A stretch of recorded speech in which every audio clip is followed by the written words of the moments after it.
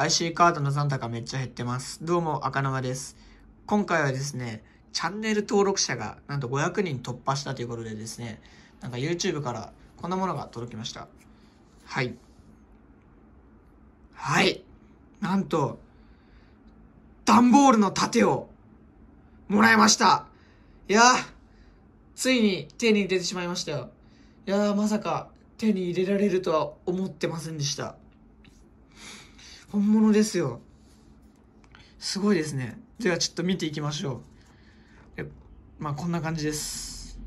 えー、っとまあ再生ボタン的な感じの、まあ、YouTube っぽいなんかあれがありまして、で、ここには赤沼さんってちゃんと書いてあります。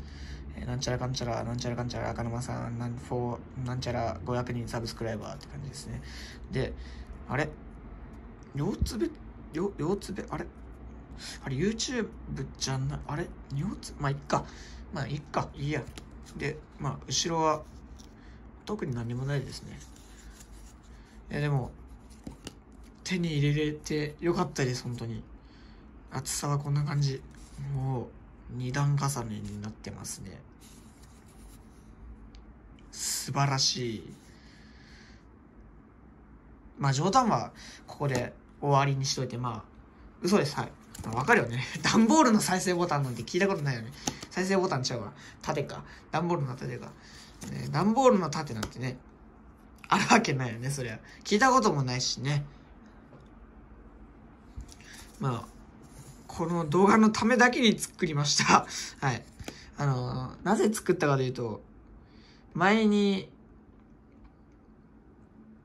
動画配信者がいたんですよ。とある動画配信者がいるんですけども、その、500人突破記念の動画を見てたんですよ。み、見たんですよ。まあ、数年前の話なんですけど、それは。あの、段ボールの再生ボタンっていうのを作ってましてね。それになぜか、憧れて、憧れてっていうか、あ、なんか面白いなと思って、ちょっとネタをパクらさせていただきました。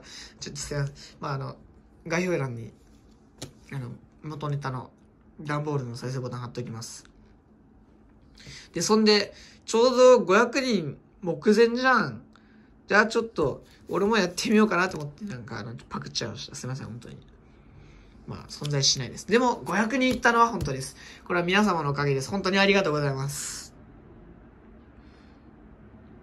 ってことでね、今回は、段ボールの再生ボタンが届いたよってお話しちゃうわ。あの、あの、はい、500人いったっていうだけのです。はい。それでは、さよなら。